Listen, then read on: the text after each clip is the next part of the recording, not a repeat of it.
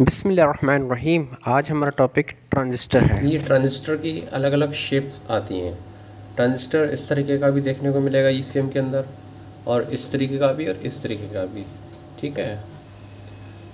Transistor दो तरह के पाए जाते हैं। एक ट्रांजिस्टर होता है N P N N P N और दूसरा होता है पी एन पी ठीक है? ये दो टाइप ट्रांजिस्टर के होते हैं, और हर ट्रांजिस्टर के अंदर एक होता है बेस ठीक है, और एक कलेक्टर और एक एमीटर ठीक? बेस जो होता है वो ट्रांजिस्टर को बेस के ज़रिए से ट्रांजिस्टर को ऑन किया जाता है, ठीक? बेस के ज़रिए से ट्रांजिस्टर को ऑन किया जाता है। तो ये तीन जो पॉइंट होते हैं कलेक्टर एमीटर बेस ये हर ट्रांजिस्टर में देखने को मिलेंगे। दो तरह के ट्रांजिस्टर हो गए, एक होगा एन और दूसरा हो गया पीएनपी जो एन पी एन ट्रांजिस्टर होता है, उसमें ये निशान जो है वो बाहर की तरफ़ आता है और पी एन पी में ये निशान अंदर की तरफ़ आता है। ये ध्यान रखा जाए। ट्रांजिस्टर की वर्किंग।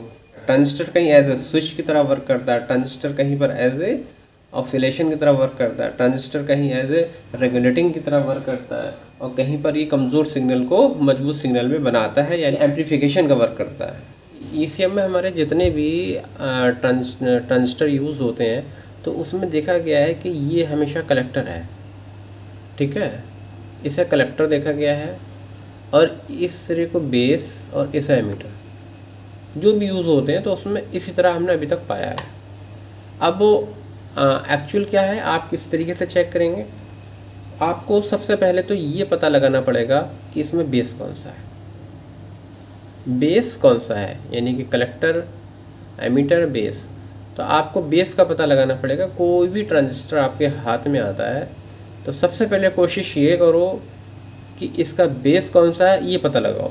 उसके बाद दूसरी बात ये पता लगानी है कि ये ट्रांजिस्टर एनपीएन है या पीएनपी है। तो ये कुछ ट्रांजिस्टर हैं, जिसके बारे में अभी हमें नहीं मालूम कि ये एन है या पीएनपी है। और इसका बेस कहाँ पर है? कलेक्टर का है? एमीटर का है? इसे हम समझने की थोड़ी सी कोशिश करते हैं। इसमें जो हम, अभी हमें नहीं मालूम कि बेस कहाँ पर है। हमने एक प्रोब यहाँ रखी साइड से। ठीक है? और एक प्रोब रखी हमने यहाँ पर। तो ये वैल्यू आ गई। सेवन फोर नाइन इसका मतलब ये हुआ कि इसमें से कोई एक बेस है।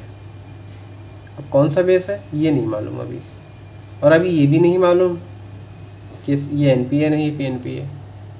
लेकिन ये कंफर्म हो गया कि वैल्यू आ रही है तो कोई एक बेस तो है।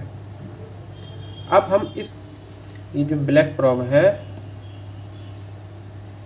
वो यहाँ है। फिर हमने उठाया और ये ये रखा, ये है। तो इसका मतलब ये हुआ कि ब्लैक प्रॉप कंटिन्यू यहाँ रखी हुई है। तो ये बेस हो गया। और दोनों जगह वैल्यू आ रही यहाँ पर भी आ गई, यहाँ पर भी आ गई। तो ये बेस हो गया। ठीक है? अब ये ब्लैक प्रॉप यहाँ पर है।